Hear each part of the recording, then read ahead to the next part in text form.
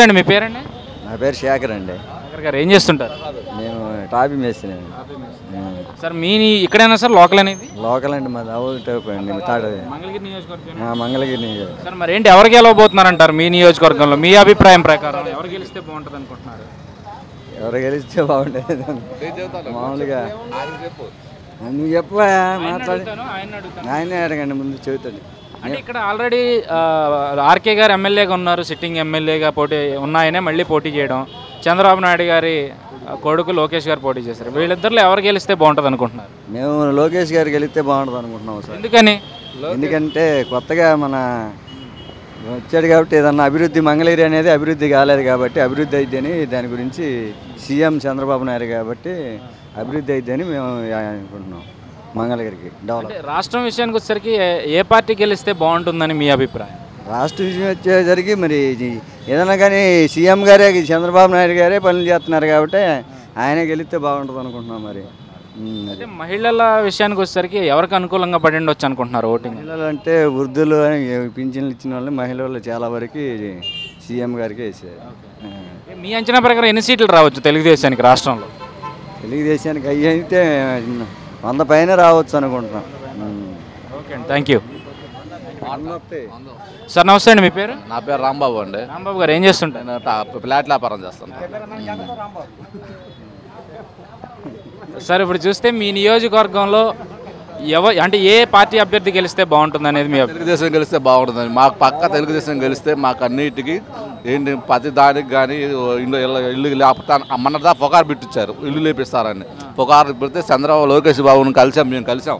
నేను నాలుగు సార్లు కలిసాను లోకేష్ బాబుని కలిశాను కండ వేపించుకున్నాను ఆయనతో అన్ని మాట్లాడాను ఆయనతో బాబు నేనేం లేపం అన్నారు కాకపోతే లోకేష్ బాబు కూడా చాలా మంచివాడు పాపం.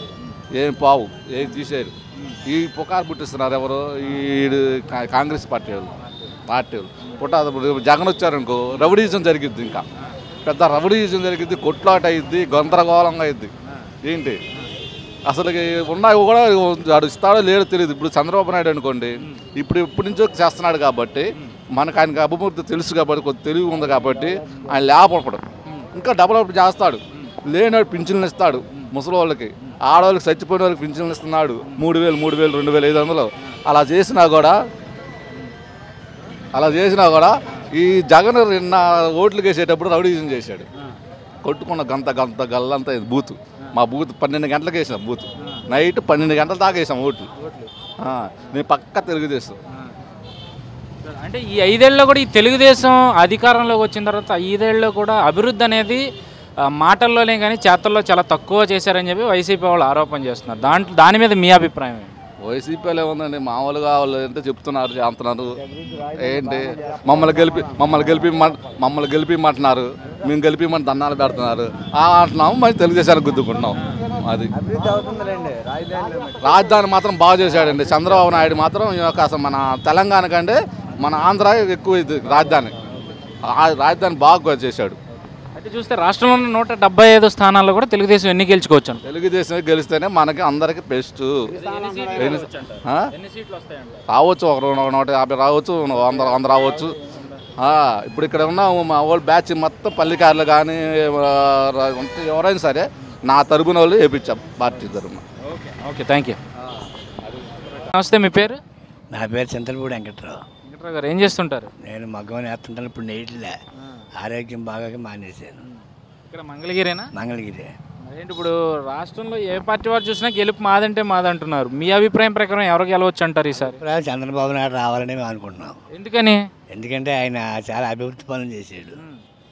ఏం చేశారు అభివృద్ధి అంటే? అభివృద్ధి పనులు అంటే ఇప్పుడు చేనేత కార్మికులు పింఛన్లని మరి ఇలా డ్వాక్రా మహిళలకని? మరి ఇంకా చాలా రకాలు చేసుకొచ్చాడు. దాని గురించి మా అభిమానం అంతా ఆయన మీద ఉంది. అది. అంటే ఈ ఐదేళ్ళలో కూడా ఆయన చేసిన అభివృద్ధి అంతా ఆఖరి ఐదు నెలల్లోనే కానీ నాలుగున్నరేళ్ళు ఎవరిని పట్టించుకోలేదని చెప్పి వైసీపీ వాళ్ళు అంటున్నారు. దాని గురించి అంటారు ప్రతిపక్షాలు అనేవి అనేక రకాలు మాట్లాడతారు. అయితే మేము మట్టుకు ఆయన రావాలని కోరుకుంటాదంటే పోలవరం ప్రాజెక్ట్ ఒకటి ఉంది మరి రాజధాని నిర్మాణం ఒకటి ఉంది. ఇప్పుడు ఆయన ఆగిపోయాడు అనుకోండి రాజధాని నిర్మాణం కూడా కుంటుపడిపోద్ది. మళ్ళీ వెనక్కి వెళ్ళిపోతాం. అదే మా అభిప్రాయం. ఆయన రావాలని మేము కోరుకుంటున్నాం. మీ నియోజకవర్గంలో ఎవరు గెలుస్తారు అనుకుంటున్నారు ఇదే లోకేషే రావాలనుకుంటున్నాం మరి. ఎందుకని లోకేష్ గారు? లోకేష్ అంటే ఐటీ ఐసీటీ సిటీ ఒకటి ఏర్పాటు చేస్తా అంటున్నాడు మరి విద్యార్థులకి అది ఎంతో మేలు జరుగుద్ది. చదువుకునే పిల్లలకి విద్యార్థులకి చాలా మేలు జరిగే అవకాశాలు ఉద్యోగాలు కూడా ఎక్కువ వస్తాయి ఇతర రాష్ట్రాలు పోకుండాను అదే మా అభిప్రాయం. అయితే మహిళల విషయానికి వచ్చేసరికి ఎవరికి అనుకూలంగా వేసి ఉంటారు అనుకుంటున్నారు మహిళ ఓటు మహిళలు కూడా చంద్రబాబు నాయుడు మొగ్గు చూపుతున్నారు. ఎందుకని అంటారు? లేదంటే డ్వాక్రా మహిళలు ఉన్నారు. మరి ఇంకా చాలామంది మహిళలు ఎక్కువ శాతం దాని మీదే ఉంది. ఉందండి. మీ అంచనా ప్రకారం ఎన్ని సీట్లు రావచ్చు తెలుగుదేశానికి రాష్ట్రంలో నూట డెబ్బై ఐదులో? నూట డెబ్బైలో వంద దాకా రావచ్చు అనుకుంటున్నారు